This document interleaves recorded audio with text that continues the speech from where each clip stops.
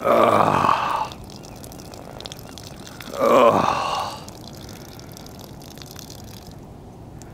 Ah, it's much better. Finally poured out that old stale water.